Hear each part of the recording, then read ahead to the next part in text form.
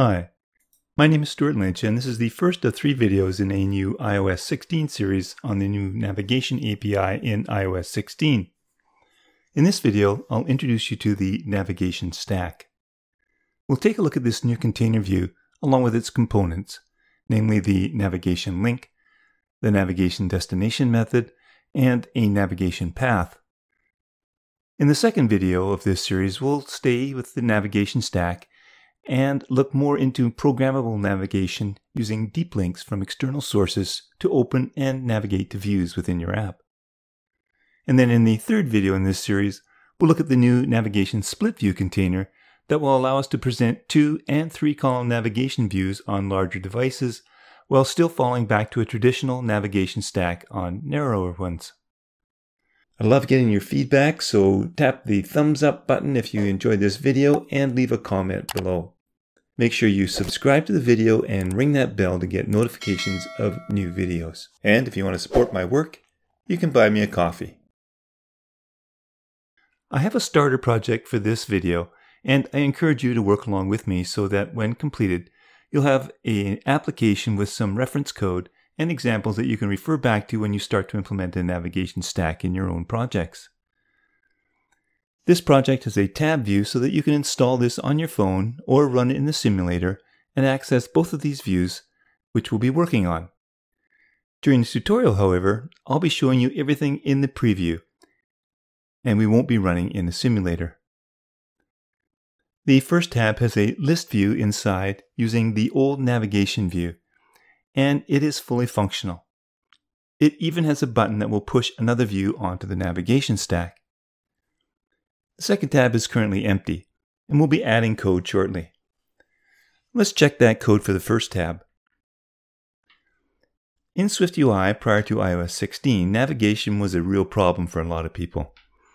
It became even more evident if you wanted to navigate to another view from a button. Let's refresh our memory on how bad things were by looking at this first example of how we used to have to do things.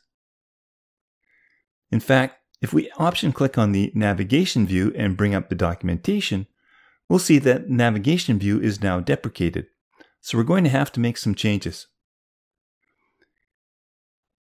The navigation link is okay, as we see with this first navigation link. The second one, however, is now deprecated. And thank goodness, because every time I had to implement it, meaning I had to push a view from a button, I had to look up how to do it. And thank you, Paul Hudson, for hacking with Swift. The other issue is if you're going to run this on an iPad. If I change my device to an iPad now, you see that we're in a split view mode. And to get to the navigation view, I have to tap this button to get to it. Prior to iOS 16, in order to fix that, we had to apply a navigation view style of a type that is a stack and add that as a modifier to our navigation view container. So what I want to do right now is to update this code so that there will be no warnings and it'll be compatible with iOS 16. So first, let me comment out this deprecated navigation link here because I can't use that ever. And this means that we no longer need this state property here. So let's remove it and without it, we'll need to remove the action on that button. We'll be replacing this using the new iOS 16 API in a minute. Let's remove this navigation view style modifier because we'll no longer need that at all. And why we no longer need it? Because we're going to change this navigation view container to a navigation stack. And this essentially does the same thing as adding the navigation view style modifier. If we want to have a split view, we'll need to use a navigation split view container, and that's what we're going to go over in the third video of this series. As you can see, the navigation link with destination overload still works in the list case, so you can continue to use that. It's not yet deprecated. However, there is a new overload that will allow us to use it in both cases. So let's forget about this overload from now on and use the new one. So let me comment out this code for now. When I type navigation link, I see that I have four options available to me.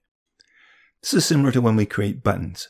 There is a simple version where we can use a string or localized string for the title, or a generic view if we want our label to have more information. We see the two destination options here for views that we used in iOS 15, and the two now with the value option. Since we used the old title key destination for our previous link, let's use the title key value option for this new link. What's most interesting to us is the value now.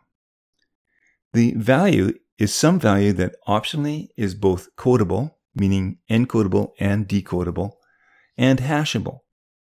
Now, Codable is something you should really be familiar with, and a common task for iOS apps is to save data and send it over the network.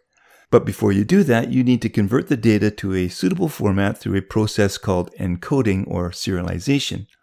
And when you receive data, in order to work with it, you need to decode it. So the object has to be decodable.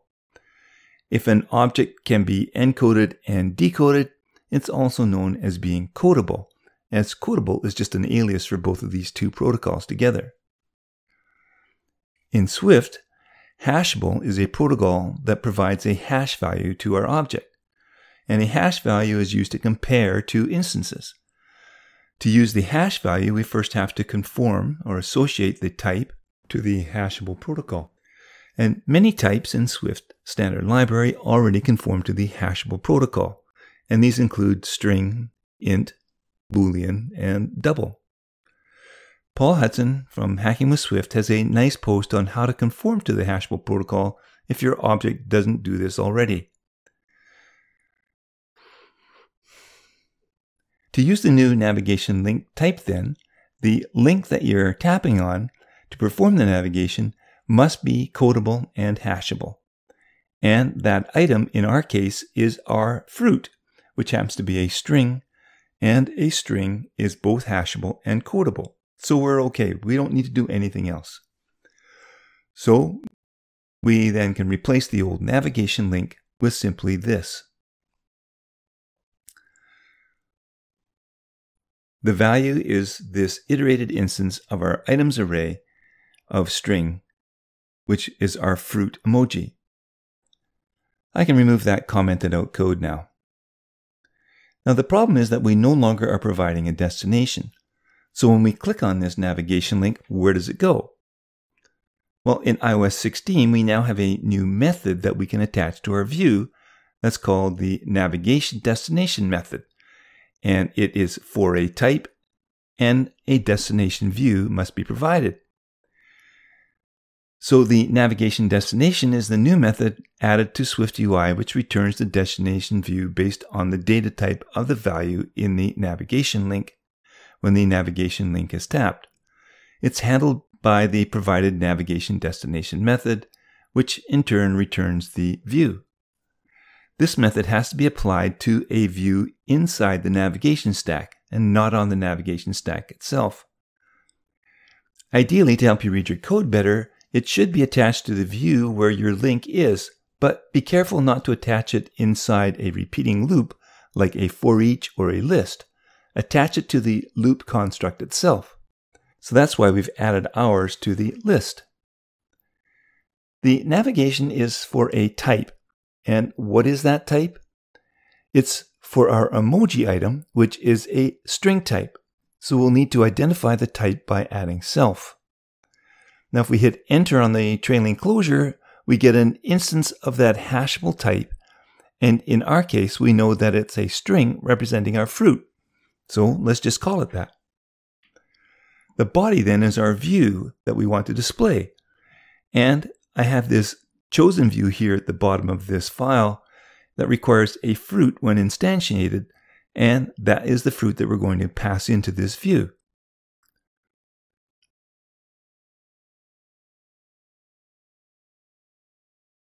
So let's review. In our navigation link, we provide either a string or a view for the label, and we provide a hashable codable instance of some object, which in our case is a fruit, an actual apple or orange, etc. Then we must provide the destination for whatever the type was that our instance was. So in our case, it was a string type, so we added self, and then we provided the destination view, and this method closure provides us with the actual instance that was tapped on, and that's what we can pass into our view to generate our destination view. As you can see, our navigation is working using the new navigation and destination method. Now, since this method is not actually part of our navigation link, we can use it for any navigation link value that is a string. Now, this button does nothing here. All it did was toggle the Boolean property that we have removed. So I'm going to create a navigation link here instead. But I want to use the same string for the link, so I'll copy it before I delete this button and its style modifier for now. What I want to do is to replace the button with a simple navigation link where the title key is the same as what we used for our button.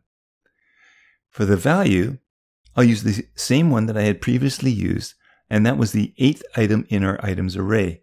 So it's items at index 7. As you can see, we now get our navigation by tapping on that link as before. Well, navigation links can be stylized the same way that you stylize buttons. So we can simply add a button style to a navigation link as we would for a regular button. So I'm going to use a bordered prominent style. It works because we have a navigation destination method that says that whenever we tap on a navigation link where the value is some type of string, it will pass that string on and present our navigation view.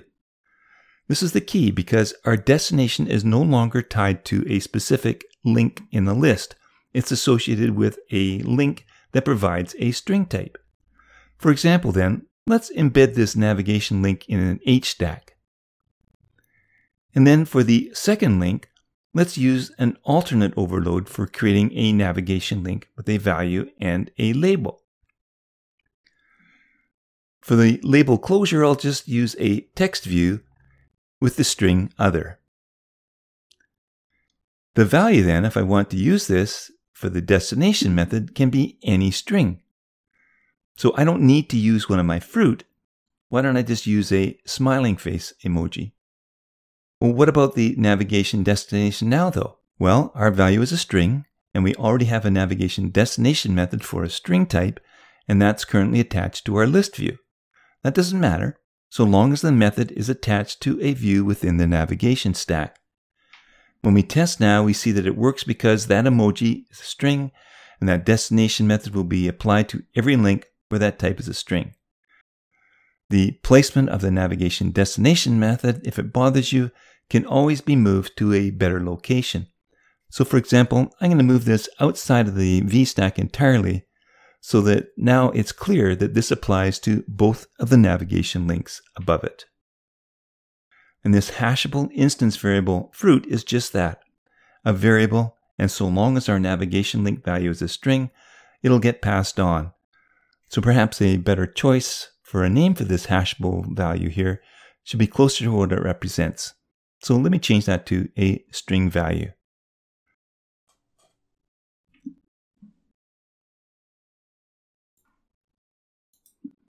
Before we move on to a more practical example, Let's explore the navigation link some more and how it relates to both the navigation destination method and the navigation stack itself, just so that you get a really good understanding.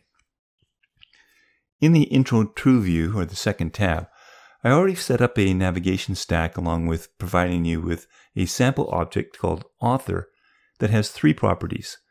A name, a string, numbooks, which is an int, and color, which is associated to the author and I just made that color up. There's no connection with the author. I've also provided a static property called sample. That's an array of these authored instances that we can use in our example. Let's have a little fun by adding four navigation links within that VStack. I want to add a navigation link for each of the three different properties, and each one is a different type, and then a fourth one for the whole object itself.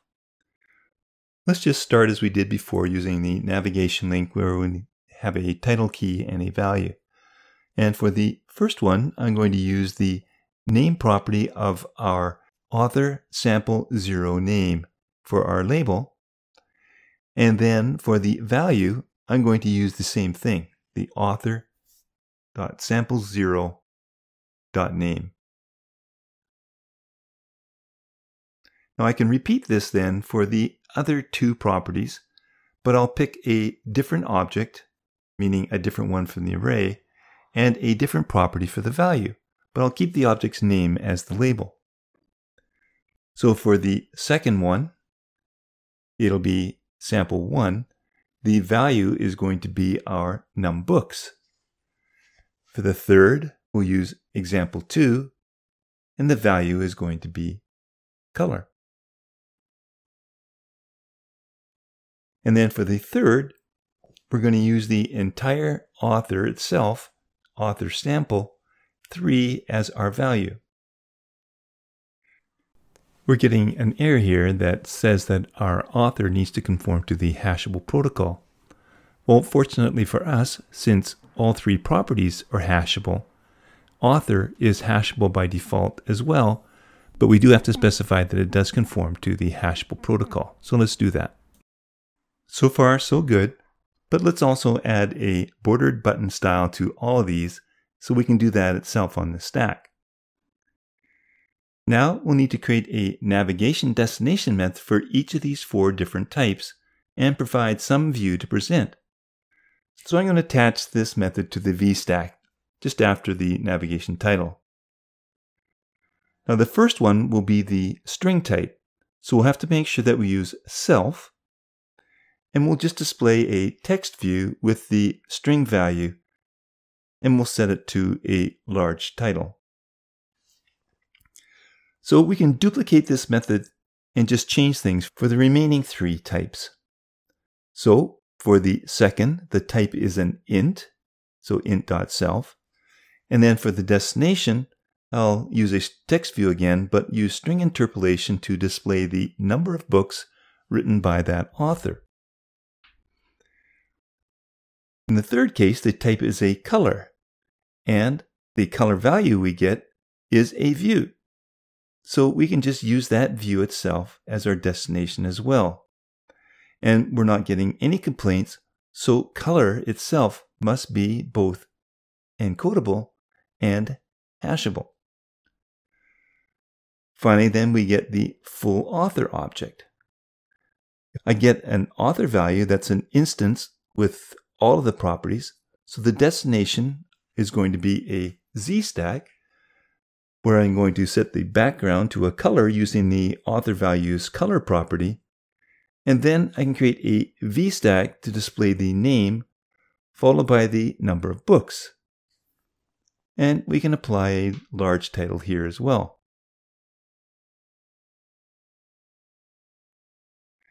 When we test this now, we're directed to the correct view in each case. Let's add another link to try and display a random author though. I already have the destination method for the author type, so all I will need is a link. So let me choose a random item from the sample, and I'm going to have to unwrap it.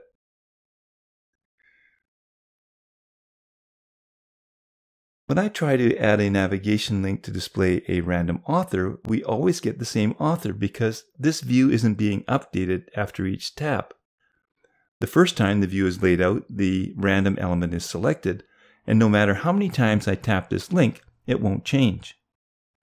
And this is where the power comes in for this new navigation method. Behind the scenes in the new navigation API, a path is maintained, and each time that you push a new view onto the stack, it adds that path to that set. And when you return from the view, it removes it. So right now, my path is empty. What I can do is to create a property for that path so that I can manage it. And since we are trying to navigate to a view based on our author objects, I'm going to create a state property called path that is initially an empty array of these objects. Now I'm going to change that navigation link to just be a button of the same name using that same string as the label. And then for the action, I can create a random author. And once I have that random author, I can append it to the path. But before this can work, we need to do one more thing. We need to bind this navigation stack to the path as an argument, kind of like a selection made on a tab view or on a list. When we now tap on this button, it gets a random book and appends it to the path, which in turn pushes the new view onto the stack, which happens to be the one specified in the navigation link method. So we get a different view presented each time we tap on the button. And this Jane Austen link still works too, because it is an author associated type. The other links don't work though. And the reason is that we've defined our path as a homogeneous type in that it's always expecting an author. We can change the path to, say, an array of string, for example. And let me temporarily comment out this append here because it won't work anymore. Now, the first link works because that link is expecting a string, but none of the others work now. Similarly, if I change the path to an array of int, only the second navigation link works.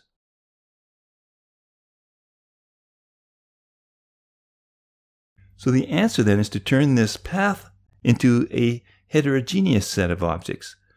And to do that, we can define it as an instance of a navigation path. This will allow us to add any object to our path. I can uncomment this append code now, and as we test, we'll see that all of our links are now working.